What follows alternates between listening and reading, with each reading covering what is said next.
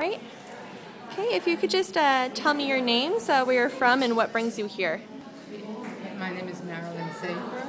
I'm from Haifa, Israel, University of Haifa, where the first Women's World Congress was hosted in 1981. And your name? I'm Martha Mednick.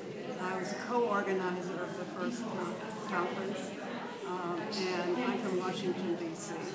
That's my home there. Wow. And how many uh, conferences have you two been to? I've been to every single one. Every single one. What did I say? I've been to about four or five. Awesome. And uh, have have you seen any differences in each conference? Do they change? Do they evolve?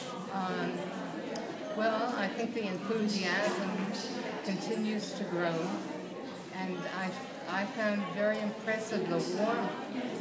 Uh, the hosts are really hosting, know, and uh, the city is very interested in warm, and the interaction is very good because we're all so close together. That's a wonderful thing. Right, I agree. I, it's always seemed that having it in a relatively small city was better than in a huge city like Sydney or something like that. And, uh, the idea that uh, rooms given so that people could organize and set up new groups and associations, I think is very important.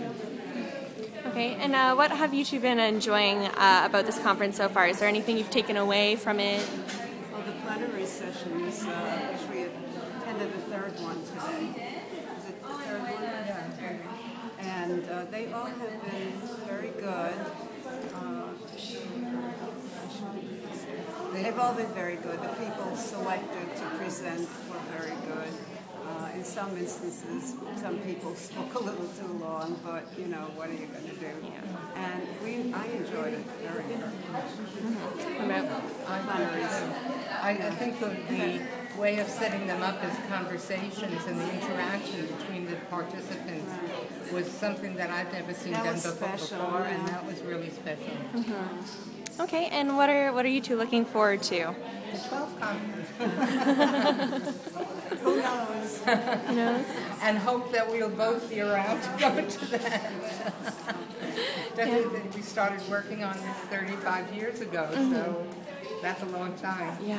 My goodness. Well, that's excellent. In man hours.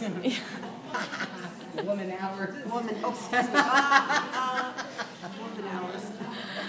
Grace, Wonderful. what is that? Okay. Great. That's Right. perfect.